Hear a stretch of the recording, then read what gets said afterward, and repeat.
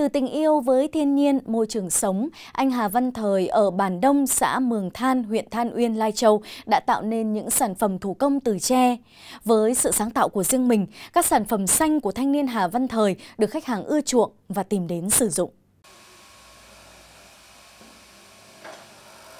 Từ các đoạn ống tre đơn giản, qua bàn tay chế tác của thanh niên Hà Văn Thời, đã sáng tác thành những chiếc đèn tre có họa tiết hình họa hay hình con vật, hoặc ghép các mắt tre trở thành những mô hình đồ chơi đáng yêu.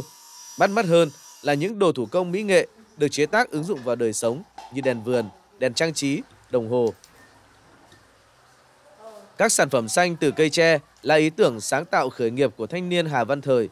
Anh đã tận dụng nguyên liệu sẵn có của địa phương, tạo nên những đồ thủ công mỹ nghệ thân thiện với môi trường.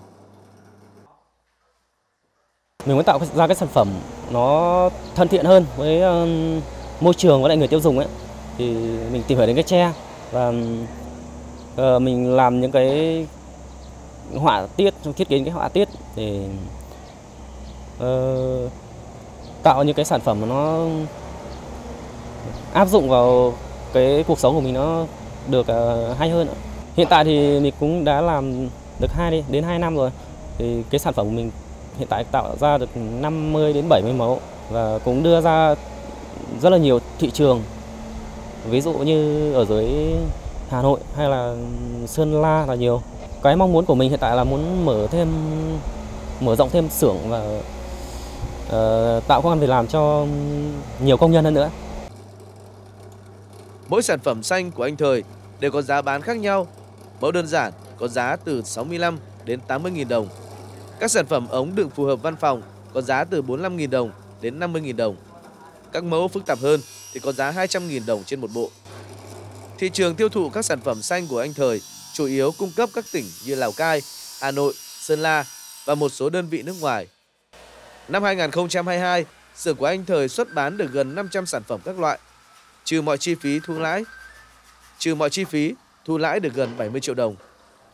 Với số lượng của các đơn hàng, xưởng thủ công của Thời đã tạo việc làm thường xuyên cho 3 đến 5 lao động tại địa phương, chủ yếu là các thanh niên trong vùng. Từ đó với mức lương của mỗi lao động được chi trả từ 5 đến 6 triệu đồng trên tháng.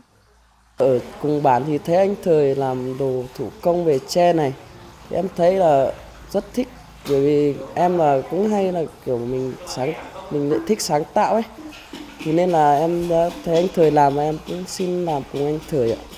Và công việc của em hiện tại đang làm là sơn hoàn thiện sản phẩm với quay video để quảng bá của anh thử Công việc của em là em thấy là rất thú vị và thích hợp với em ạ. Sản phẩm làm bằng tre không sử dụng các hóa chất độc hại trong quá trình sản xuất và bảo quản, còn giữ nguyên màu sắc, mùi hương của cây tre Việt Nam. Khi sản phẩm không còn được sử dụng với mục đích ban đầu thì vẫn có thể tái sử dụng với nhiều công dụng khác như làm củi đốt, làm đồ tái chế. Tre cũng dễ dàng phân hủy nên sản phẩm tiện ích từ tre sẽ thân thiện với môi trường. Từ ý tưởng khởi nghiệp làm đồ thủ công mỹ nghệ, từ nguyên liệu thiên nhiên bằng tre, đã được huyện đoàn Than Uyên khuyến khích và phát triển nhân rộng. Đây cũng là ý tưởng sáng tạo của thanh niên Lai Châu quảng bá hình ảnh thân thiện của cây tre Việt tới nhiều du khách.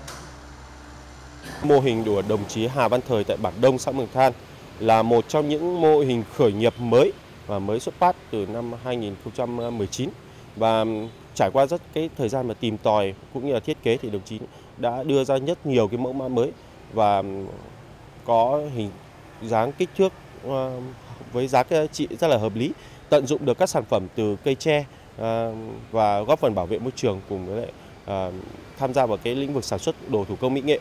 Thì đây theo chúng tôi đánh giá thì đây là một trong những mô hình mới khả quan và gần như là mô hình khởi nghiệp đầu tiên trên địa bàn huyện về cái lĩnh vực thủ công mỹ nghệ. Trong thời gian tới thì chúng tôi cũng huyện đoàn Than Uyên cũng sẽ cùng với lại đồng chí Thời để phát triển tiếp các mô hình và hướng đến các sản phẩm mà nó thân thiện hơn, tiếp cận tốt với khách hàng, đặc biệt là các khu du lịch, các khu homestay và cái thị trường trong ờ, cái gia nội nội thất trong gia đình. Ngày nay, tiêu dùng trong xã hội hiện đại không chỉ đặt ra những yêu cầu về chất lượng, công dụng, giá thành mà còn đòi hỏi tính bền vững và thân thiện với môi trường trong từng sản phẩm. Những sản phẩm từ tre của thời là sản phẩm xanh hướng đến việc bảo vệ sức khỏe cho chính bản thân, gia đình và góp phần gìn giữ các nguồn tài nguyên cũng như môi trường sạch đẹp cho thế hệ tương lai.